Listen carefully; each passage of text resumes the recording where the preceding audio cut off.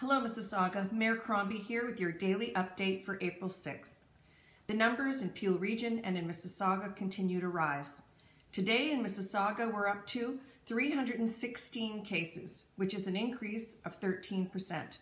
Every day, the numbers are rising by double digits. The virus doesn't move. People move it.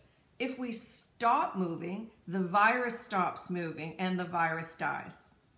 And while many people are getting the message and staying home, far too many people are not getting the message.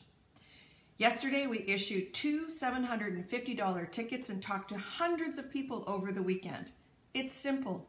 If you're not an essential worker, stay home.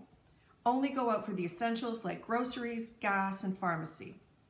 Our parks and trails remain open but the facilities like the basketball courts and the playgrounds are closed.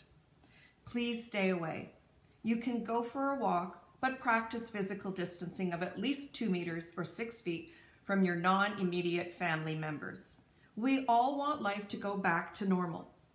The only way that happens is if we stay vigilant and stay home. It's that simple. Our frontline healthcare workers need you to stay home. They're fighting a battle to save the lives of our family, our friends, and our neighbors. Let's help them not only fight, but win the battle. We can get through this. We can save lives, and we can get back to normal. But we must all do our part. Thank you, Mississauga. Stay safe, stay healthy, and stay home.